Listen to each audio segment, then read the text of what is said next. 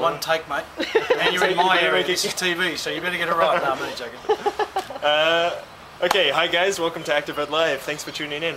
Alright, today we're out at uh, Orygen, Orygen Youth Health, the, um, the charity organisation we're sponsoring with the big 100 man kumite. And today we've got a AFL legend Wayne Schwass with us to tell us a little bit about the facility and um, how he's been involved with it and all that kind of thing.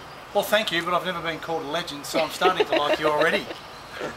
Uh, my involvement has basically stemmed from, I guess, being um, an AFL footballer for a period of time. I uh, have a personal experience with mental illness, and that being depression. So, um, through my football career, I dealt with that in ways that perhaps I could have dealt with it differently. And I guess at the end of it, I managed to have a reasonably successful AFL career, but more importantly, overcome the challenges that I faced. And, and from that, own, my own personal experience, I wanted to uh, do something that allowed me to leverage off my footballing career and create something that helped educate young people about the issues of mental illness. And So, um, what what sort of things does Orygen Youth Health do? Like, what's the, I guess, the main goals and everything of the organisation? Just uh, Well, look, I'm a bit biased when I say this, but I think that the organisation is at the cutting edge with regards to, um, I guess, setting the social agenda, but al- also complementing that with a number of outstanding programs, early intervention.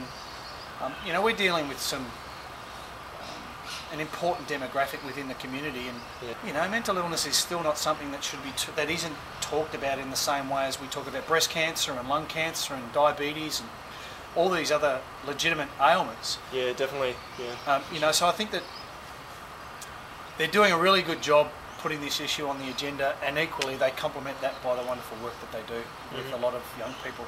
Okay, yeah.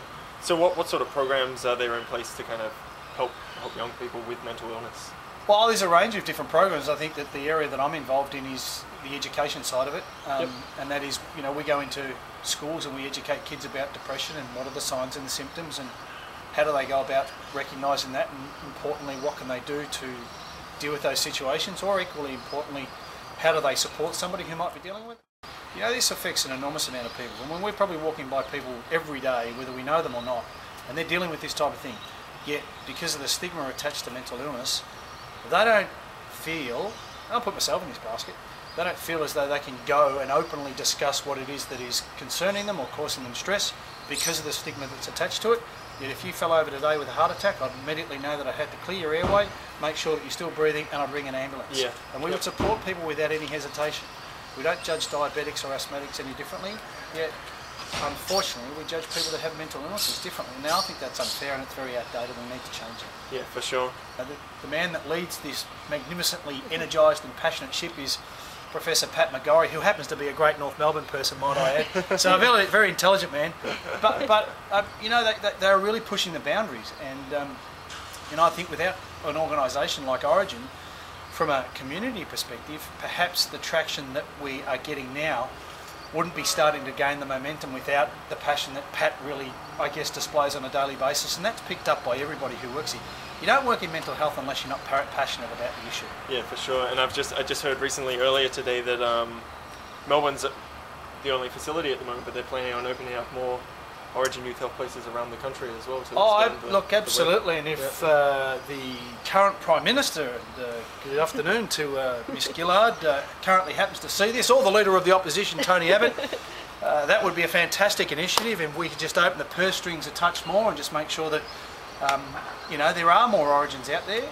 Um, because as, as, as great uh, the work that they currently do, there's a, a lot of people that aren't getting this, these opportunities. And Yeah, definitely. I think that that's what we need to make sure that you know we're bridging that gap constantly. Um, I'm encouraged with um, you know the budget that's coming out with some of the figures that are being talked about, but Mhm.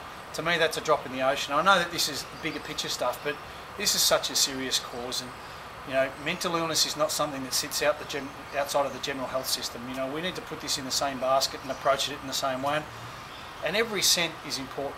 And I, I know that firsthand with what we've managed to do with our school-based programs.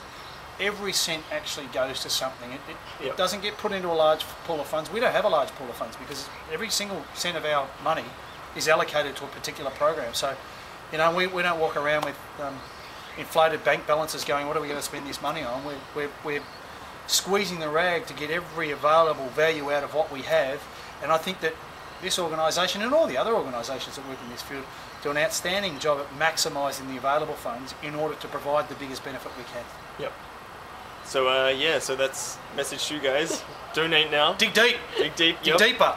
We're going to be fighting 100 rounds for this for Orygen Youth Health. It's a great cause. So um, please uh, put, put um, show us your support and uh, make a donation. You know. And if I can, if you don't dig deeper, you'll be in with this man the next time he fights 200 people. So dig deep. Cool. Well, thanks for your time, Wayne. My it was uh, pleasure. really great that you came out and uh, told everyone about Orygen Youth Health. Hopefully, you guys get on board and support the event. You know, Wayne's told you to. I've told you to. Let's make it happen. And good luck to the 100 people fighting this man. Cool. Cheers. No worries, mate. Thank you. Great.